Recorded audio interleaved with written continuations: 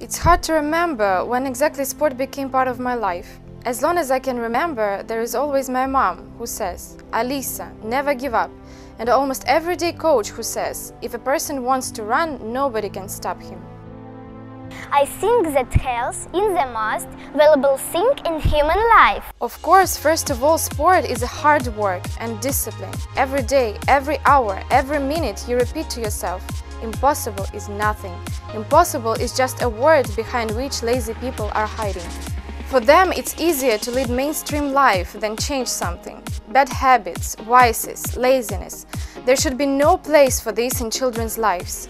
Impossible is a challenge. It's a chance to become better, to become true you.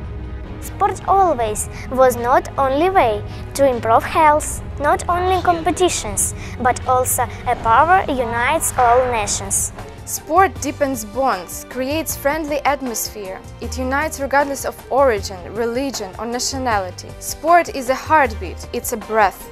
Sport is life, mine and yours.